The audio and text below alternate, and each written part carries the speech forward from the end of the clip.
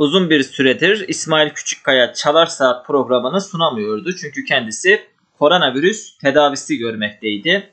Virüsü atlattı. Bir hafta boyunca evde istirahat etti. Şimdi de yarın sabah Çalar Saat programıyla yeniden karşımızda olacak. Bu konuyla ilgili de bir paylaşım yaptı.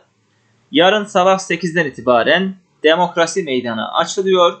Yeniden hiçbir haberi saklamadan, hiçbir haberi abartmadan, önemsizleştirmeden Fox Fox Haber başlığıyla bir paylaşım yaptı. İlk konu da belli oldu. İyi Parti Genel Başkanı Meral Akşener. Meral Akşener de bu konuyla ilgili bir paylaşım yaptı.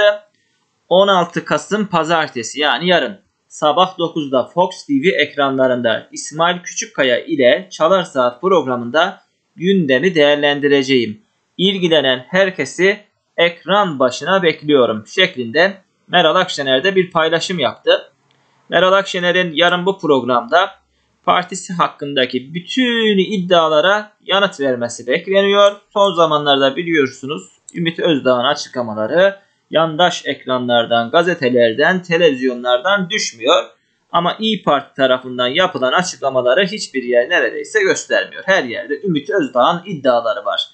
Daha düne kadar Ümit Özdağ'a yer vermeyenler, Ümit Özdağ'ın açıklamalarını dikkate almayanlar birdenbire İyi Parti'yi hedef almaya başlayınca Ümit Özdağ'ı her yerde yayınlamaya başladılar. Meral Akşener de İsmail Küçükkaya'nın programında Türkiye'nin en çok izlenen programlarından birisi olan Çalar Saat programında gündemi değerlendirecek. Niye en çok izlenen programı diyorum? Yandaş medyada istedikleri kadar yazsınlar, çizsinler.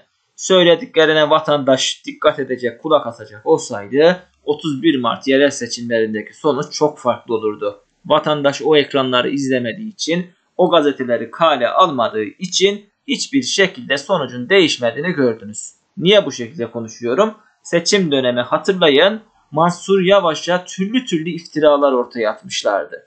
Mansur Yavaş'a yönelik iftiralar ters tepti ve rekor denilecek bir oy oranıyla Ankara Büyükşehir Belediye Başkanı seçildi.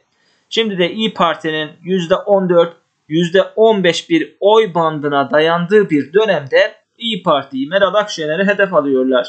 Hedef almaya devam etsinler bir bakım aslında İyi Parti'ye çalışıyorlar. İyi Parti'nin oyunu daha da artırıyorlar. İyi Parti'yi daha da tanınır hale getiriyorlar. Markalaştırıyorlar. O yüzden bu kafayla lütfen devam etsinler. Onların saldırdığı, onların hedef aldığı her kim varsa çünkü zirveye oturuyor.